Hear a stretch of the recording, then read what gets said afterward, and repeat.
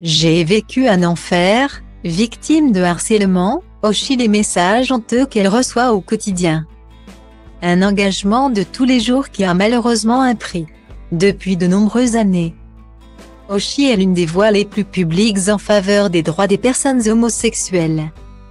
Malheureusement même à notre époque, prendre la parole publiquement sur de tels sujets expose à de violentes réactions.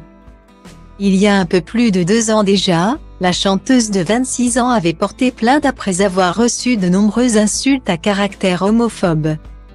Là, en l'occurrence, c'était du cyberharcèlement, mais ils ont essayé de trouver mon adresse pour me frapper. Virgule ça a été super loin. En fait, ça m'a fait mal au cœur pour tous ces jeunes qui ne peuvent pas se défendre aujourd'hui face à ça révélait-elle à Mouloud Achour. Peu de temps après avoir remporté une victoire de la musique. Mais les choses ne se sont pas arrangées pour l'artiste, bien au contraire. Quelques mois après avoir fièrement annoncé en réponse à des propos de Vladimir Poutine que son futur enfant aurait de maman. Oshi a brisé le silence sur Twitter. La chanteuse a dévoilé de nombreux messages absolument ignobles envoyés par des internautes sur les réseaux sociaux. Une campagne qui a coûté cher à la jeune femme, aussi bien psychologiquement que physiquement, J'en ai reçu des milliers. Ça m'a empêché de vivre pleinement depuis trois ans. J'ai vécu un enfer psychologique et physique.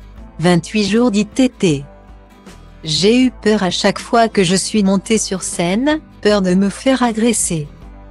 Je ne suis jamais ressortie seule dans la rue depuis, j'ai perdu 10 kilos explique-t-elle. Désespéré face à la situation juridique à la suite de sa plainte, une seule personne risque aujourd'hui une condamnation. Oshi appelle aujourd'hui le gouvernement à l'aide, sauvez-nous tant qu'il est encore temps.